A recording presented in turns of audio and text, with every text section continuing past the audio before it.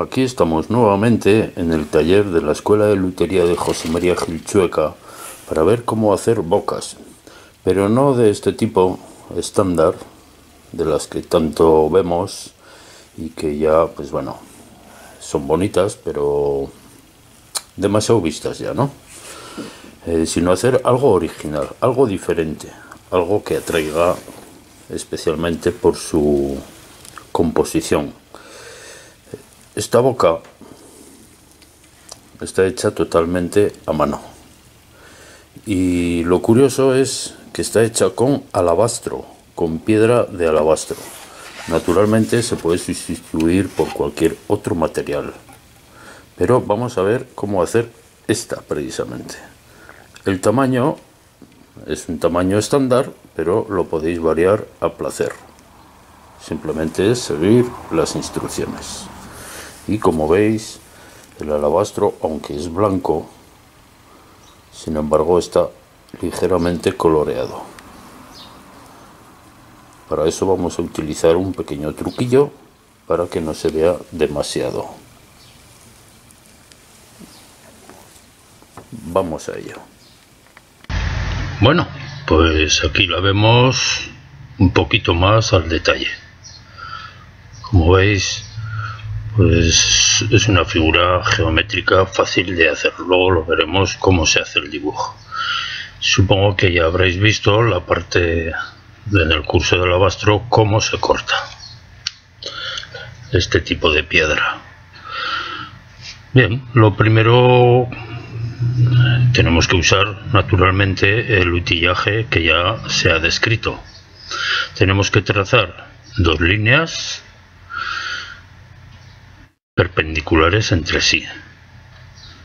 Y utilizar una alfombrilla en este caso es una alfombrilla no sé la compré en una tienda china para que se clave bien la punta del compás y así que no se nos deslice la punta.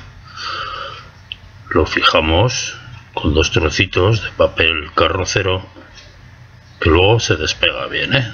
no hay ningún problema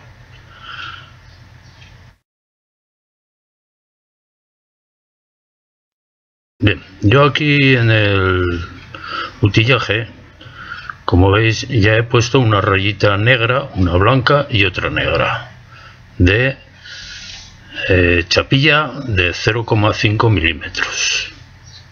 Mido el diámetro y lo divido entre dos para saber el radio. Para así graduar el compás para que me salga el círculo perfecto y que me, luego me encaje la plantilla que voy a dibujar ahora justo en, el, en lo que he hecho ya en el utillaje. Esto probablemente en la escuela os lo enseñaron. Es muy sencillo pero con alguna ligera variación. Claro podéis hacer múltiples dibujos basándolos esto en un compás. Bien, trazamos el primer círculo.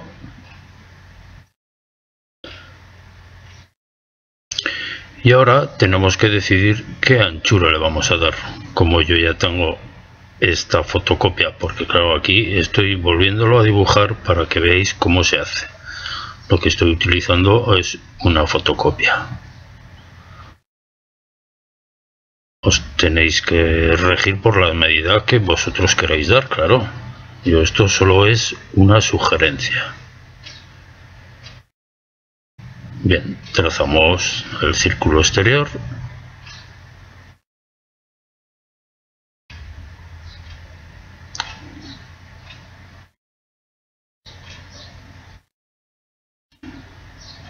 Y en este caso yo le he dado 1,9 milímetros.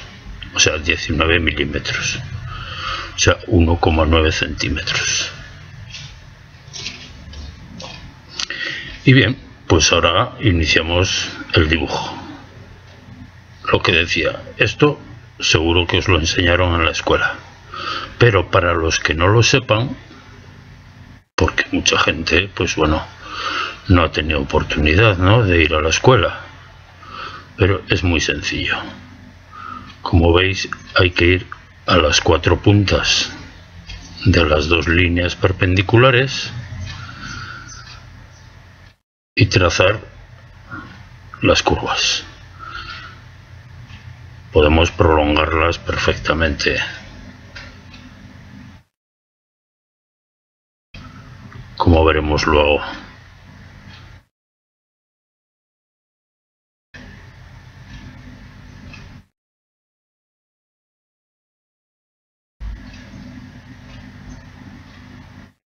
¿Veis? Ahora la trazo muy poquito, muy fino para que no se haga ahí un lío de líneas que se ven bonitas, ¿no? Pero bueno, a mí las que me interesan o nos interesan son las de fuera. Bien, hasta aquí tenemos, como veis ya, dividido en 12 partes. El círculo, la circunferencia. Bien, nos vamos a la siguiente. Y ahora vamos a hacerlo, va a coincidir con los puntos que hemos comenzado y como veis se junta con la siguiente. Vamos a la siguiente y va a ocurrir lo mismo en otra, claro.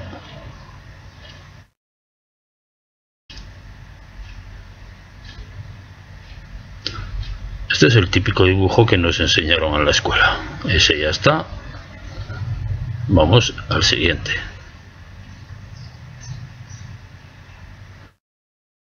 Entonces yo os aconsejo que si ya sabéis cómo se hace todo esto, aunque este tiene alguna variante, ¿eh? pero lo podéis ir adelantando hasta que veáis la variante.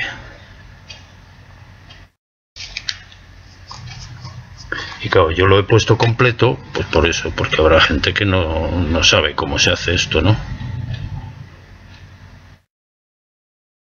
¿Veis? Va coincidiendo todo, siempre con el mismo radio, hasta la variante que digo que hay, que cambiamos el radio.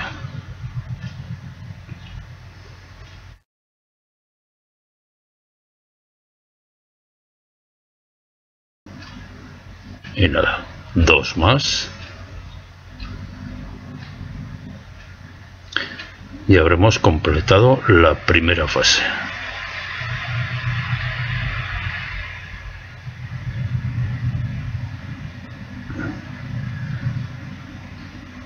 Y esto es principalmente lo que nos enseñan en el colegio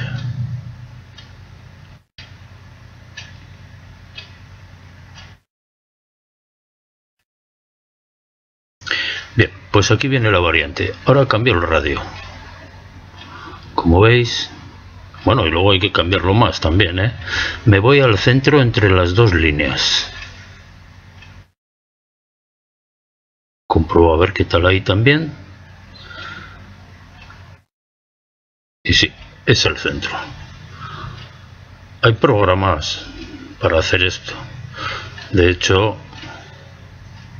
mi amigo Damián que menciono en las plantillas de la guitarra, pues me lo hizo esto en un momento, con un programa que tiene. Cuando sepa cómo hacerlo, lo incluiré en las plantillas. Y ahora, pues eso, a repetir. Y bueno, ahí he adelantado el vídeo. Yo mismo porque se ve claro lo que hay que hacer, ¿no?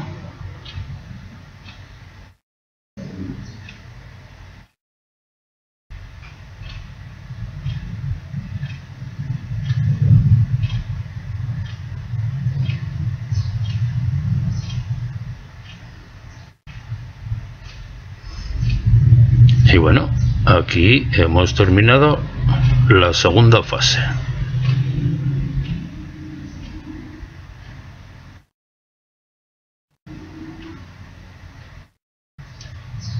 Bueno, pues tenemos que volver a cambiar el radio. Porque se podría hacer perfectamente así. Decir, bueno, pues yo quiero hacer la cenefa así. Vale, pues la dejáis así o en la fase anterior también. Yo me he ido a lo más complicado para que sepáis cómo se hace. Luego ya cada uno que tome la decisión que quiera. Hago lo mismo que antes, compruebo de que voy bien para darle la misma anchura que a lo demás. ¿Eh? La misma anchura de piezas. Y volvemos a lo mismo. A ir de punto en punto, que gracias a la cartulina almohadilla que tenemos debajo, pues tenemos marcados los puntos sin que se nos vaya nada y acertamos a la primera. Y además el bolígrafo que es de gel escribe hasta mejor. Como veis se va haciendo un dibujo en el centro que se lo descartaremos porque claro no lo vamos a utilizar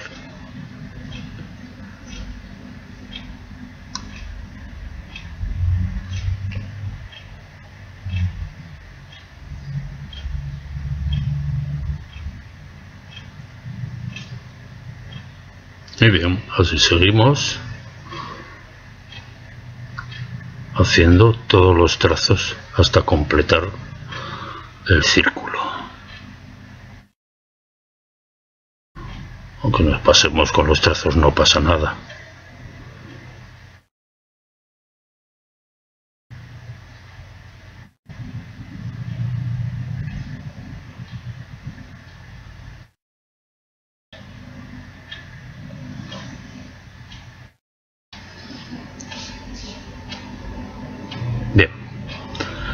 ya aquí terminando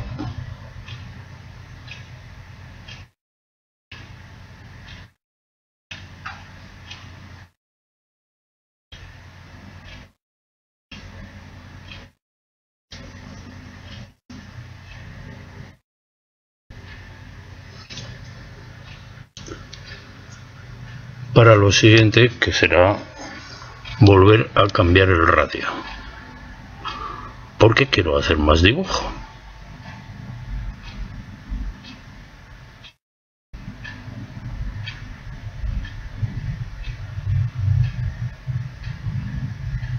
Lo dicho yo me he puesto pues en la parte más complicada en este tipo de trazos con el compás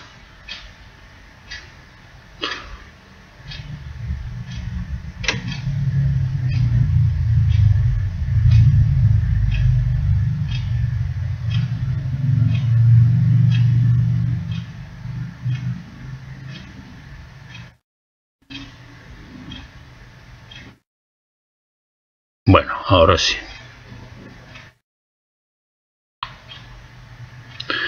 Y ahora vuelta a cambiar de radio para esta otra pieza que para mí es demasiado grande y voy a volver a hacer otro dibujito dentro siempre guardando la misma distancia paralela entre líneas o sea entre curvas y vuelta a trazar todo. Vamos, que el sistema es sencillo, como veis. No tiene mayor complicación. Eso sí, os aconsejo que el compás, yo es que este no tenía otro en este momento, y con esto del confinamiento pues no podía acceder a otro que utilicéis compás de seguridad de estos que llevan una ruletita en medio y que no se mueve como veis este compás lleva para adaptar cualquier cosa no en este caso un bolígrafo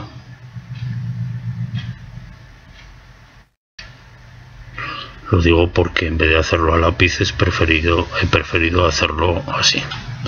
Bueno, pues como veis coincide con la fotocopia del dibujo que ya tenía, que, que había hecho ya. Pero no había filmado cómo hacerlo. ¿Veis? Traslado el dibujo y coincide también. Acá es todo simétrico. Esto no falla. Bueno, pues ya lo podemos quitar de la alfombrilla. Como veis se despega perfectamente. Yo ahora lo voy a recortar todo. Pero conforme voy haciendo, pues me voy dando cuenta que, que en realidad hay cosas que se pueden evitar, ¿no?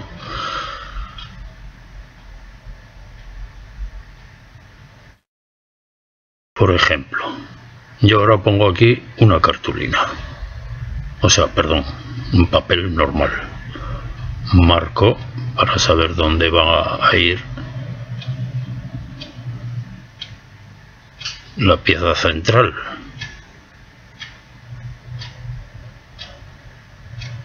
Todo esto son cosas, claro, que vas improvisando, porque yo esto pues es la primera que hice, ¿no?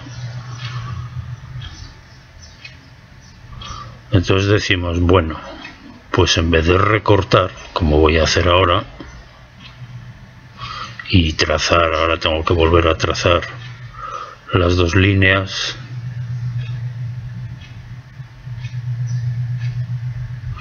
pues todo esto nos lo podemos evitar.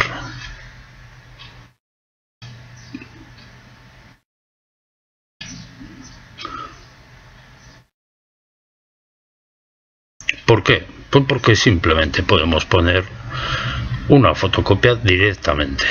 En vez de ese papel en blanco, ponemos...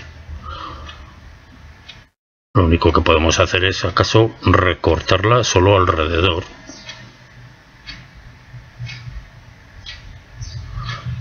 Para saber el que coincidan las líneas, ¿no?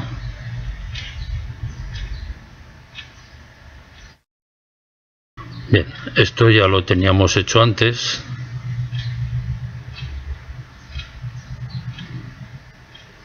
Pero lo pongo para que sepáis.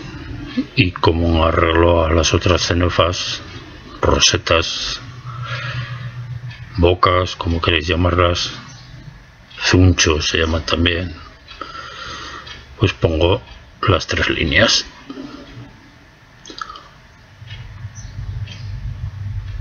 muy resumido porque ya sabéis cómo se hace.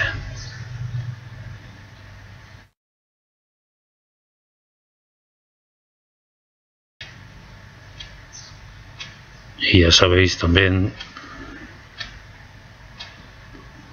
que solo con papel carrocero suele ser suficiente. Ahora si queréis poner una piecita, creo que se ve en algún trozo. Una piecita de metacrilato atornillada al principio que coge el principio y el final de estas líneas. Bien una vez seco una, una hora más o menos pues quitamos los papeles con cuidado para no romper el papel o en este caso sería ya la fotocopia que la habríamos puesto directamente pero eso aconsejo recortarla alrededor.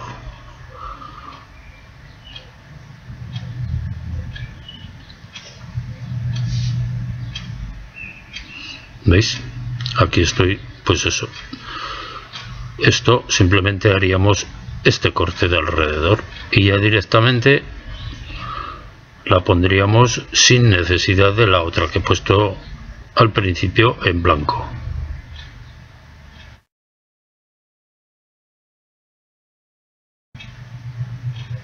Pero bueno, si lo queremos hacer, pues aquí va cómo se hace. Primero elimino parte del papel para que no me moleste en recortar. Eso sí, esto sí que lo tenemos que hacer para luego ir haciendo las piecitas que tenemos que hacer o sea que no viene mal que ponga estas imágenes y las veáis como lo recorto yo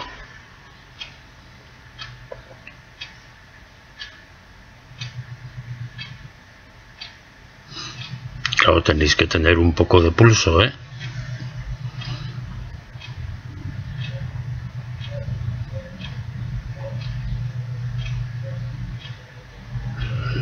pues listo ya la tenemos. Y como hemos utilizado los diámetros adecuados pues veis nos entra ya incluidas las tres rayitas. Por eso lo que se veía al principio que estaban las tres rayitas puestas ya porque necesitaba medir el diámetro que la cosa es sencilla también. Si tenemos la parte de metacrilato redonda y le, subamos, le sumamos 3 milímetros porque cada rayita de esas tiene 0,5 pues entre un lado y otro o sea en toda la circunferencia en el diámetro serían 3 milímetros más. Bien ahora la pego al otro, al otro papel si lo hiciéramos directamente naturalmente no lo íbamos a pegar al metacrilato. Simplemente la dejábamos así y ya está. O podemos darle unos puntitos para que no se mueva pero bueno.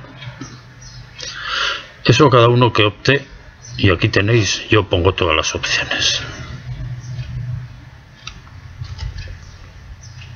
Bueno pues ya lo tengo aquí pegado. Aquí tengo como veis fotocopias que me he hecho yo mismo en mi impresora y aquí tenemos otra que he recortado claro ¿Por qué? Pues porque es la que vamos a necesitar para ir pegando sobre las placas de alabastro y así poder ir recortando. Entonces con arreglo al tamaño de las piezas de alabastro que tengo, como veis ahí está un poquitín, un poquitín rota, rajada. Entonces digo, bueno, pues a ver qué me cabe ahí.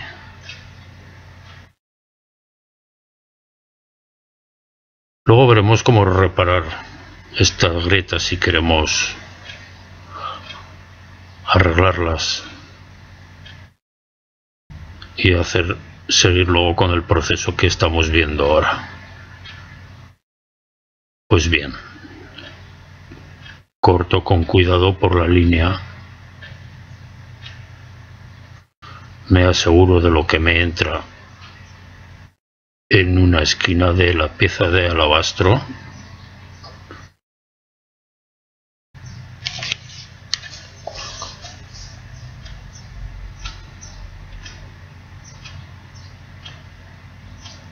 Y como veis me entra en ese trozo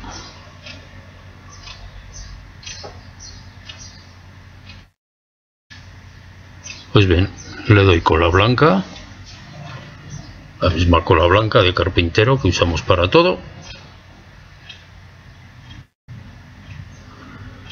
Y a pegar sobre el alabastro.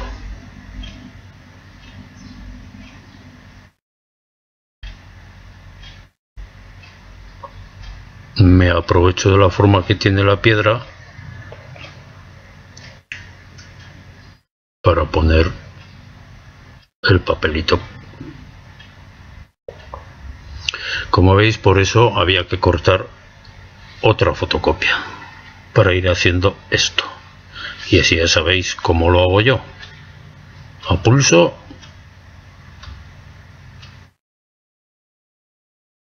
y sin irnos nada. Bueno, ahora como vamos a poner entre pieza y pieza una rayita negra, podéis poner tres, pero en este caso ya es complicado. ¿eh? En la siguiente, la que combino alabastro y madera, pues ya ahí cambia la cosa, porque son piezas más grandes. Todo esto son tiras de las planchas que venden de chapillas y esta es de 0,5. Si, como veis, se pueden hasta curvar para adaptarnos a ello. Bueno, pues corto la parte de atrás, que ya sabéis que yo le añado para cortarlo a mano una tela de una de gasa. Y bien, con sierra de marquetería de mano, porque con la eléctrica si no tenéis mucha práctica se os va a desviar. Lo que hago es cortar primero por la parte de dentro. Y como veis estoy utilizando el utillaje que también describo en la el trabajo de, ébano y maderas exóticas. Describo este utillaje. Es otro, porque aquí me he tenido que hacer otro. Y bien, con una lija de grano 100 lo repaso. Y ahora ya corto un extremo también para ir sacando las piecitas. Como veis me he apoyado en la ranura del centro para terminar de cortar. Las piecitas que van saliendo conviene guardarlas porque a lo mejor alguna piecita cuando estemos cortándola se nos rompe o nos hemos equivocado al cortarla pues podemos reutilizar esos trocitos bien entonces con una lijadora aplanadora de mano la repaso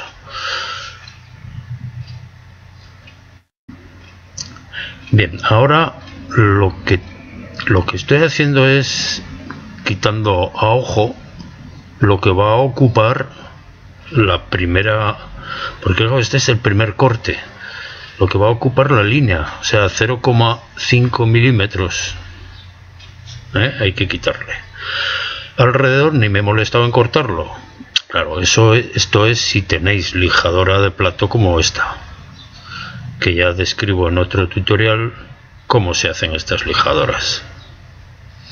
Como lleva la gasa pegada, pues eso la lijadora no me lo quita y me estorba. Así es que con la tijera lo elimino para poder seguir. Porque se mete entre la mesa y el plato y estorba. Y bien, a pulso, con buen pulso, aunque luego se repasa a mano también, ¿eh? Pues veis, ahí me he evitado cortarlo. Pero repito, si no tenéis lijadora de plato de, este, de esta manera, pues tendréis que hacerlo con la sierrita de marquetería. Como veis, vuelve a haber gasa de lo poquito que quedaba por quitar, pues todavía sale algo. Nah, eso simplemente se elimina con las tijeras y ya está.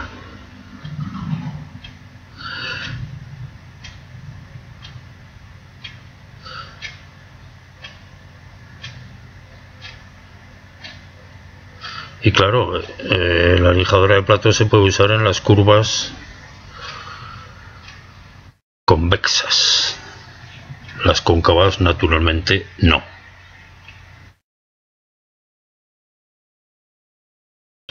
También le he quitado un poquito más. Es para eso. Para que no me salga más grande cuando le añada la tira de 0,5. Bien, pues una vez que tengo hecho eso, pues vamos a fabricar la primera pieza, porque la vamos a hacer aparte. O sea, digamos que es una V y otra V dentro, ¿no? Entonces con la serrita cortamos la pieza que hay dentro.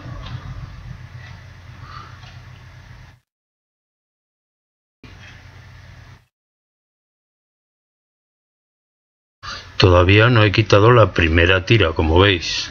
Simplemente estoy ya, he pasado directamente a la primera pieza que además es con la que hay que empezar siempre, ¿eh? con una V de estas. Bien, ahora vemos que la piecita se mete para adentro. ¿Por qué? Pues claro, porque hemos eliminado parte lo que se ha comido la sierra. Pero Cuando yo hice esto, observé que no era suficiente, que se me quedaba fuera. Digo, oye, pues esto va a ser un pequeño rollo, tener que estar desgastando pieza por pieza para que me entren.